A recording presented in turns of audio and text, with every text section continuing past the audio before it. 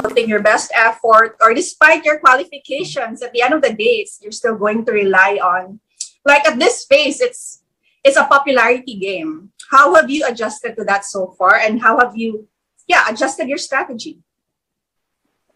Well, of course, uh, it can't be helped now that sometimes you're intimidated when you see all of the top 15 results and you're not there.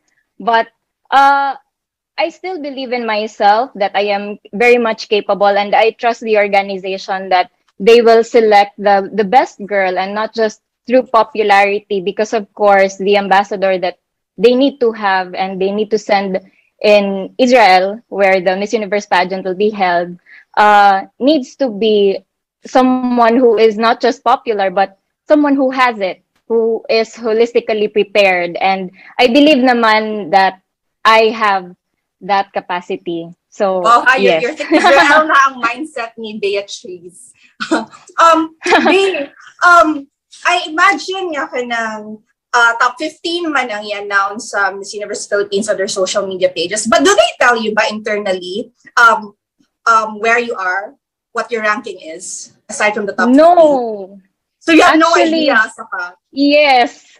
Wala jud. Actually all of us like the some of the aces and queens na mga girls when the results come out kami jud tanan nga when we see na ay we're still in kanang nakakahinga na talaga kami inana jud mo kanang ma-relieve gid me when we know nga we are part of the top 75 kay wala dyan ni idea what our rank is other than those who were in the top 15.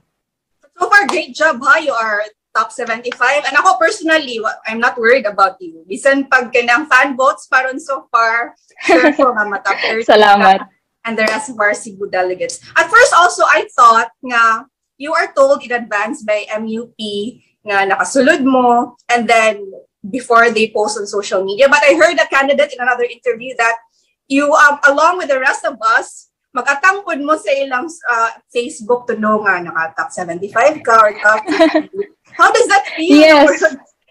On edge of your seat kung nakasud ba ko this week or not?